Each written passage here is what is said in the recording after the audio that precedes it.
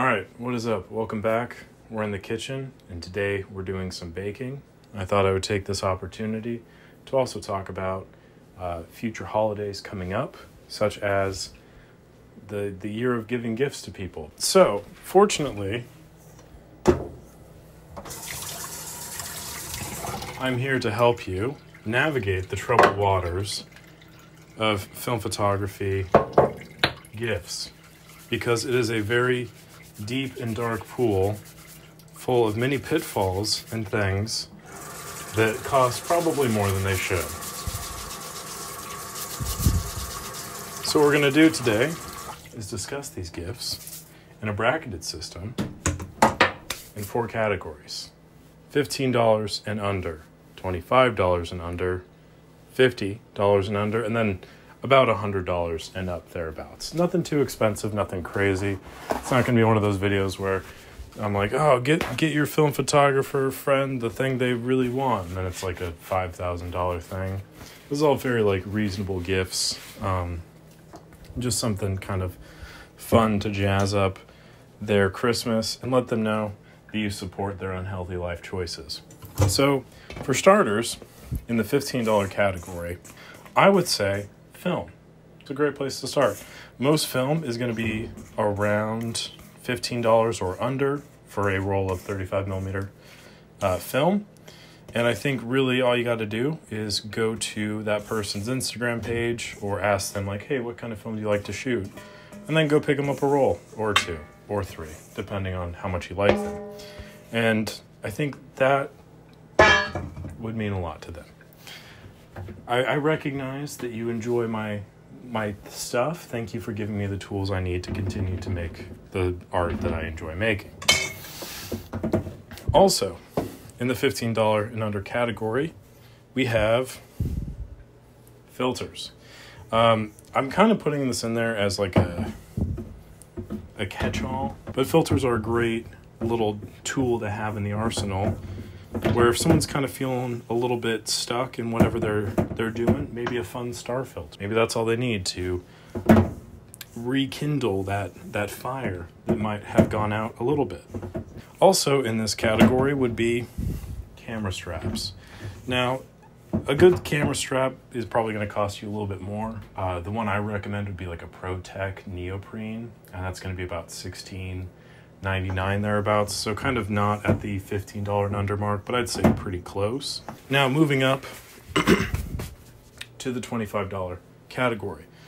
For starters, we have the camera wrap. This is a thing that Kodak just like recently introduced. Other companies have them, but Kodak's I think is uh, twenty or no, Kodak's is seventeen ninety nine.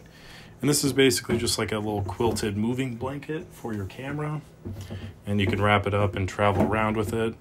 Um, I have one in the mail, so I will be doing a review of that soon and uh, let you know what I think of it. I'm kind of suspect to Kodak's quality control in terms of their more consumer based stuff, but I'm hopeful because it does look kind of cool. Also in the 25 category, we have a film case, like a carrier case. There's a lot of different canisters and just something to kind of put a bunch of different film that you're taking with you. Again, it's a little thing, but it looks kind of cool. And if the person that you're buying for doesn't have one, it's just like a little fun thing that they can have to their collection. Uh, and then finally, in the $25 category, would be storage solutions. Uh, this for me would be huge because I have so many negatives that I've not done anything with.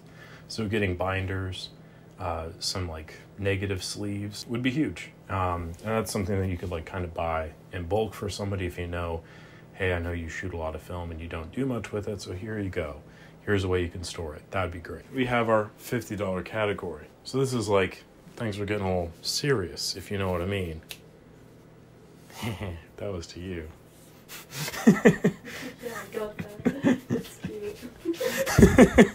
anyway, so fifty dollars. Um, this is going to be a little bit more of a catch-all for things. There's the the long weekend gone film camera I recently talked about. That's like forty nine dollars. There's a lot of other cameras in that like.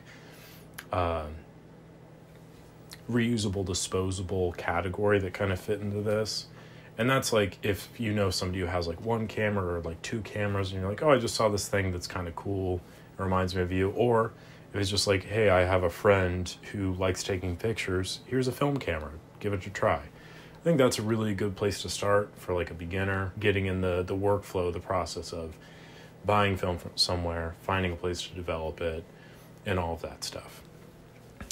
Um, the next one on this list is something I think is kind of cool. It's a Reflx Labs like back display. It's a like a LED memo um, screen that goes on the back of a camera. That way you can display whatever kind of film you have in there at the moment. I think it's pretty cool. Uh, they're about 50 bucks, I think. I'll put pictures of them around here so you can take a peek. I definitely recommend checking them out um, for yourself, for your loved ones, for your friends, family, whatever. Um, they're pretty cool. And also, Reflx Lab is a smaller company, so it's really cool to support them as well. And finally, in this grouping of $50 thereabouts, I recently got one of these, so I'm pretty stoked about it, but it's an Apache case. It's the Harbor Freight version of like a Pelican case. And they got the foam inserts, so you can like put your cameras in there and stuff. If you have one or two cameras, it's perfect for that. Um, and then you can get like a few of them, or you can get the bigger ones as well. But I just got the, I think it was a $39.99, $40 version one. I can fit a medium format and a 35 millimeter SLR in there pretty comfortably have room for film and all that stuff. And it just feels better. Like I'm taking stuff out in the field. It's in a durable case. Uh, just makes me feel more prepared and ready for whatever can happen.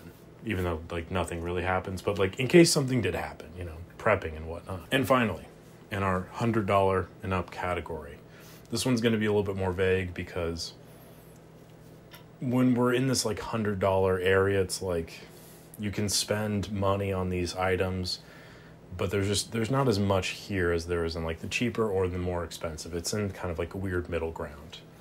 One thing that I would say is like a tripod. That's something that's like I got a SLIK, I think 100, I think for I think 115 or something.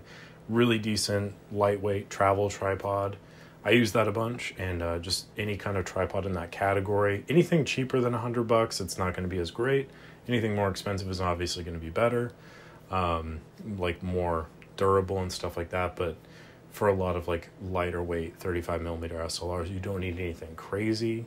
So I would say in that neighborhood, you're probably doing all right. And if they don't have a tripod, it, I think it's a great thing just to introduce to them. I like compact things that I can travel with.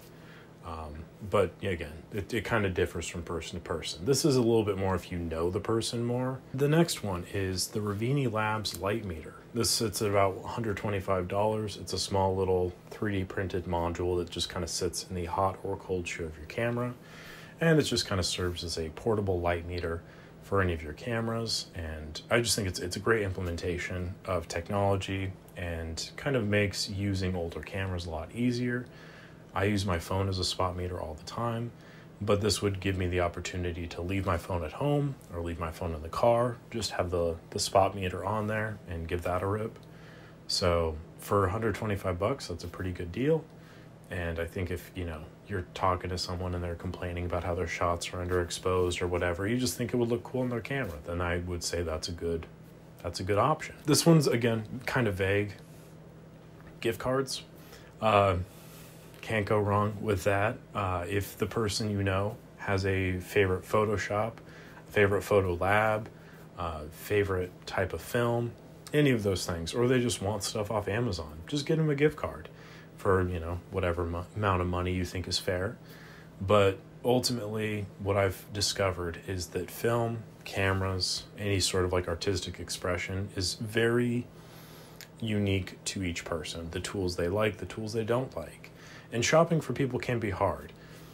And I think if you don't really have a full understanding of what it is they're looking for, but you can at least acknowledge and respect their desire to create in such an antiquated medium, then just get a gift card. Let them figure it out. Put the ball in their court for once. Um, but ultimately, don't look at me like that. Don't look at me like that. okay. Sorry. Get a lot of sass from my cam back there. Anyway, gift cards. Those are always a good option. Um, also, in that $100 price range, um, just get multiple rolls of film for the person too, because I'm sure that they would love that as well. but I would also recommend just like gift cards for uh, Photo Lab. If they go to one that has gift card options, that's great. Uh, ultimately, those are all of my ideas for Christmas gifts. If you have any that you can think of that you want to comment down below, I encourage you to do so. Check out the comments for other ideas, other advice, and such of that nature. Um, I will put links to all of the items I listed down below so you can check them out. And yeah, happy holidays. I'm going to go back to making these cookies and then I got to make a pie. So it should be lots of fun. I know we're both very excited here.